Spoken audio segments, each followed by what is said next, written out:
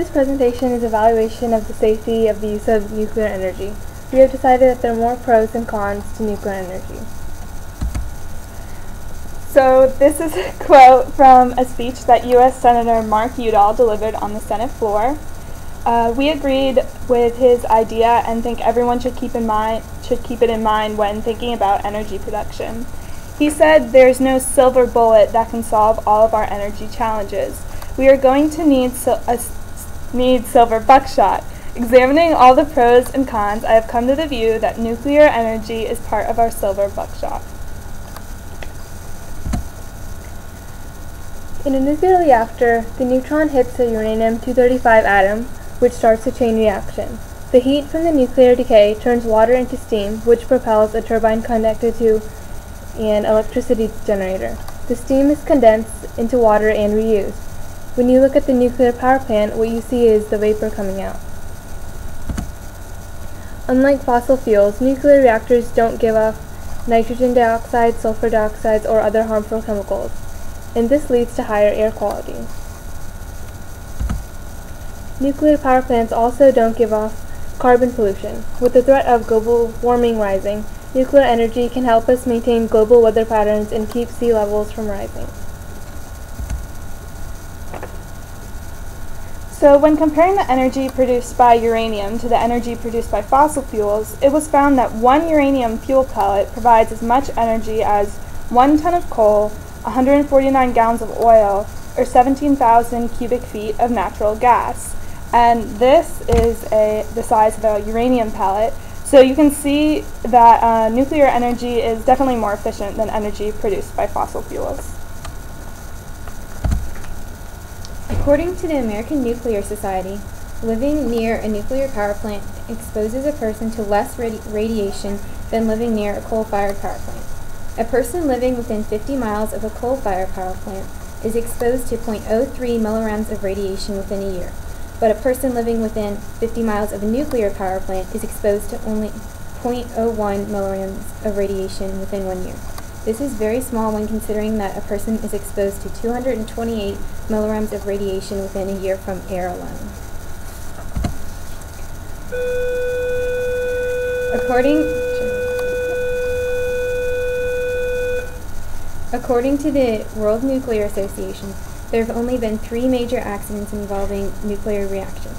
These are Chernobyl, Three Mile Island, and Fukushima.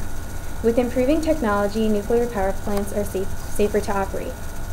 For example, after five years, spent fuel rods can be moved to dry cask storage where it is cooled by airflow. By doing this, there are fewer fuel rods in the spent fuel pool. In this way, there, if there is an accident, there will be less radioactive material emitted. Also, if an accident does occur, there are ways to contain the damage to a smaller location if, if there is a nuclear accident. The Three Mile Island accident is a good example of this. Although part of the core of the reactor melted, the radioactive material was released was lessened by a containment building. Also, people living near a nuclear power plant can take potassium iodide pills, so if the radioactive iodide is released, their thyroid will already have its full supply of iodine and will not absorb the radioactive iodide.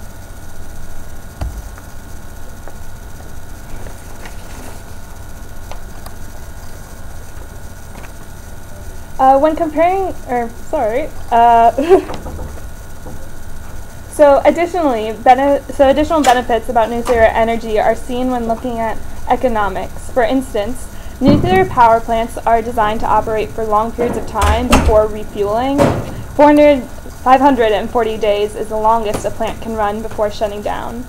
Because of these long periods of operation, nuclear energy is not subject to the cost fluctuations that fossil fuel is subject to, and that makes nuclear energy very dependable.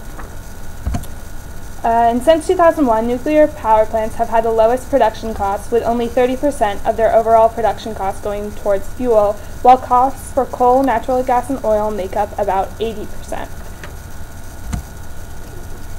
While politicians and voters are divided on the issue of nuclear energy, there are some serious political benefits. Creating our own clean and safe energy here in the U.S. would decrease our dependency on foreign nations. Many of our conflicts with oil producing countries, such as those in the Middle East, had oil as a serious factor. If we can produce our own energy. We will not have to be in volatile countries as much, leading to less violence. Also, if the U.S. were to become more reliant on nuclear energy, would have to build more nuclear plants. The process of building and maintaining these plants will require serious manpower. So increasing the prevalence of nuclear energy and nuclear power plants will create more jobs for the U.S., which would be extremely beneficial considering our 6.7% unemployment hmm. rate. Much of Europe is extremely reliant on nuclear energy. If the U.S. wants to remain on the forefront of new developments and ideas, we will need to start using more nuclear energy as well.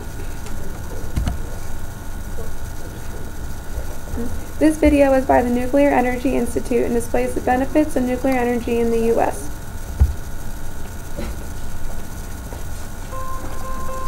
She's using more. He's using more. We're all using more electricity. America's appetite for energy is growing. So, how do we generate more electricity that is cleaner, safer, and made here in America? Part of the answer is nuclear energy. Nuclear energy facilities in 31 states already provide electricity 24 7 for one in five homes and businesses nuclear energy is America's largest source of clean air electricity. With production costs at about 2 cents per kilowatt hour, it's affordable, reliable, and ready to meet our growing energy needs. Nuclear plant safety is a top priority. Above all, the men and women who work at these facilities are committed to making safe nuclear energy even safer. So, nuclear energy can provide made in America electricity while protecting the environment. Nuclear, clean air energy.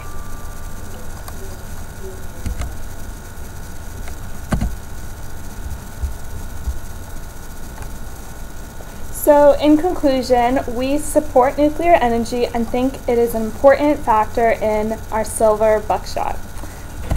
There are sources. Thank you.